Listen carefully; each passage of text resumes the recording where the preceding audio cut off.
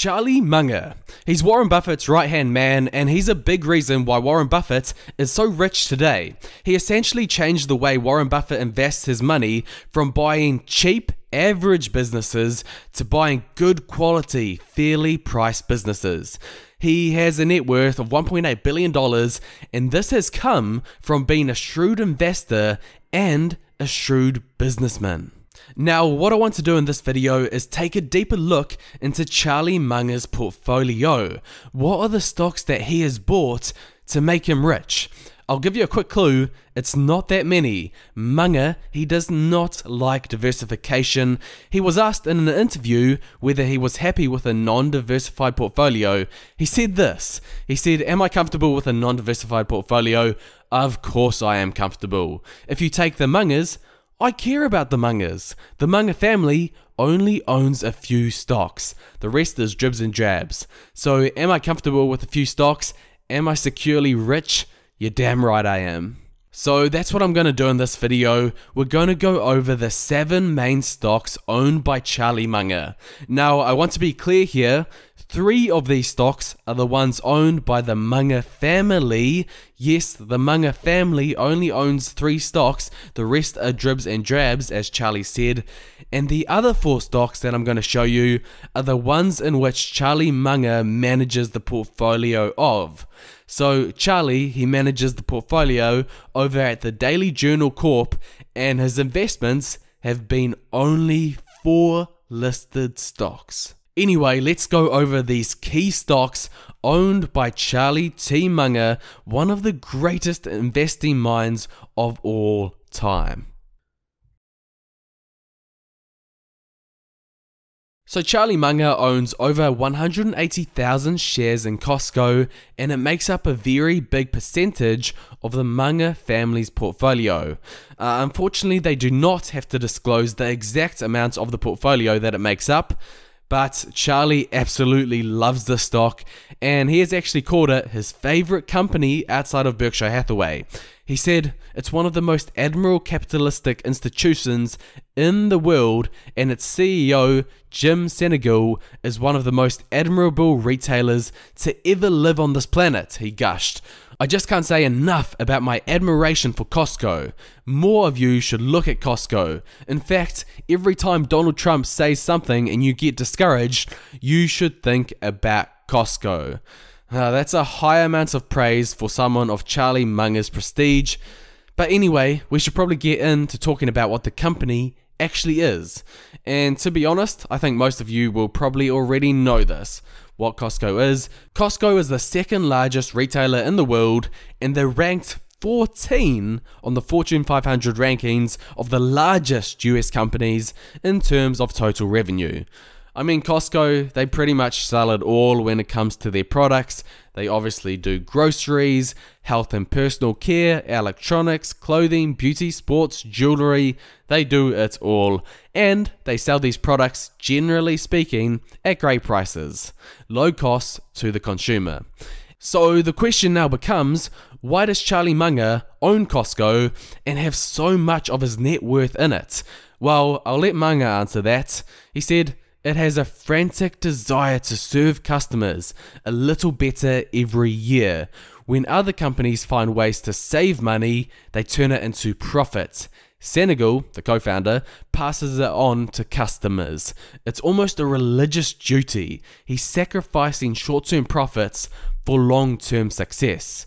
Costco, they have a mission to serve customers. Over the long term, this works, and it's one of the reasons why they've been able to build the company to a market cap of $130 billion. One of the things that has helped make Charlie Munger a wealthy man.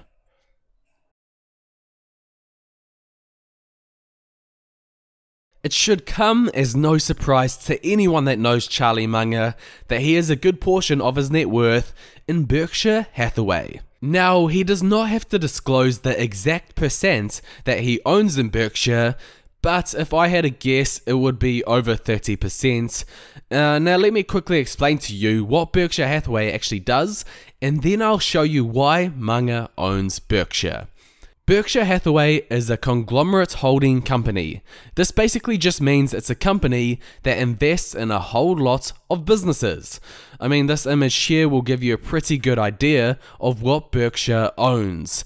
Uh, they obviously own a bunch of companies outright, including Geico, See's Candy, NetJets, uh, and Duracell. A lot of big names in this list. And the stocks that Berkshire own include Coca Cola, Wells Fargo, Apple, Southwest Airlines. Again, some pretty big names in that list. But what you need to know is that if you own Berkshire, you own a range of good quality companies and stocks. And who's at the top of the company, investing most of the company's money? Well, Warren Buffett, the greatest investor in the world. Charlie Munger, he's been friends with Warren Buffett for over 60 years and he has known this fact. The question should be why would Charlie Munger not invest in Berkshire Hathaway? It's pretty obvious why he owns so much Berkshire stock. Okay, this is very interesting. A good portion of Charlie Munger's money is with an investment fund by the name of Himalaya Capital, managed by someone called Lei Lu. Himalaya Capital is a China focused investment fund, and Lei Lu, Charlie Munger calls the Chinese Warren Buffett. Munger has around 400 to 500 million dollars with Lei Lu's Chinese focused fund. Charlie Munger, he was asked about what his thoughts were on Lei Lu. He said this He's partly a Chinese Warren Buffett, that really helps. Uh, he said partly he's fishing in China, not in this oversearched, overpopulated, highly competitive American market. Either way, it should not surprise you that Charlie Munger has a significant portion of his personal family's portfolio with Himalaya Capital. It exposes his net worth to China and of course, it's managed by the Chinese Warren Buffett's Lei Lu. Okay, now we're moving on to the portfolio that Charlie Munger manages through the Daily Journal Corp. Those first three stocks were the ones Charlie Munger has his personal net worth in. Yes, he only has three main investments for his personal family's net worth. Uh, as I mentioned before, Charlie Munger, he's not a fan of diversification, and with the portfolio that he manages, it's the same thing. They only own four stocks. The first one is a stock called Wells Fargo, which Charlie Munger has invested 1.6 million shares in, accounting for $80.3 million worth. And the stock makes a total weighting of 51.6% of the portfolio managed by Charlie Munger. So, Wells Fargo, I'm sure most of you will know the company. They're the fourth largest bank in the world. They offer the different banking and investment management services to individuals, small businesses, and commercial as well. Commercial banks make money by providing loans to customers and then earning interest on those loans. That is one example of how Wells Fargo make money. But of course, they make money through managing people's investments and other means as well. Why am I talking so much about banks? Well, because most of Charlie Munger's portfolio is in this sector. In fact, as you'll see now, stocks 5 and 6 are both banking related stocks. So, Bank of America, Munger's invested $67 million, in which it makes up 43.1% of the portfolio, and US Bancorp is $7.7 million worth, making up 5% of the portfolio.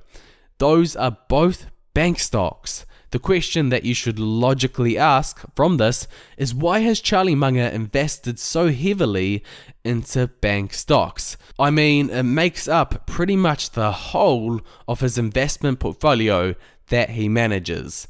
This is what Munger said. The banking industry has been a gold mine. I think Warren and I blew it. We should have invested a lot of money in banks. He's talking back in the day. Uh, while we did well in it, we should have been heavier in it. The amount of money made in banking has been awesome. And this despite the fact that the people who made the money, how shall I say it, have been moderately skillful. So, you know, even though bankers have been moderately skillful, they still can make a lot of money in this bank business. That's one reason why Munger owns so much bank stocks. And two, because they're just so cheap.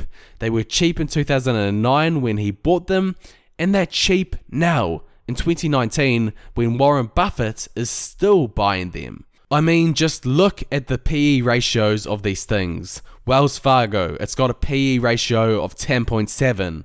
Uh, Bank of America, PE ratio of 11.6. US Bancorp, PE ratio 13.2. So you've got, generally speaking, not a bad business model, a good way to make money, plus cheap prices. That's why Munger likes bank stocks.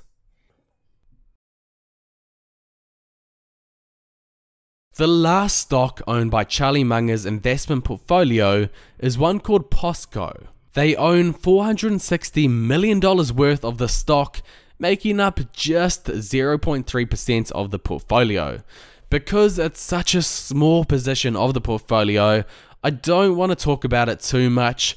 Basically, what POSCO is, is they're a Korean based steel company. But Charlie Munger has sold out of most of his POSCO position, so it's not worth talking about too much. And those are the seven stocks bought by Charlie Munger.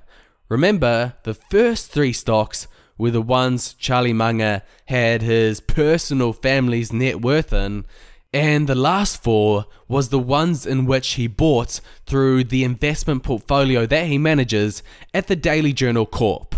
What the key thing that you'll notice with Charlie Munger's portfolios is he only owns very few stocks. His family net worth only relies on three investments Costco, Berkshire, and Lei Lu's fund. A lot of people will think this might be stupid, but let's just say you met someone in your local town and they told you he owned three local good quality businesses. Would you think he's well enough diversified? Would you think he's a wealthy man? Of course you would. And Munger has the same theory with diversification. He says, the idea of excessive diversification is madness. The whole secret of investment is to find places where it's safe and wise to non diversify. It's just that simple. Diversification is for the know nothing investor, it's not for the professional. Charlie Munger. At the end of the day, if you can find a few good quality businesses at an appropriate price, they will end up making you a lot of money, just like what happened with Charlie Munger.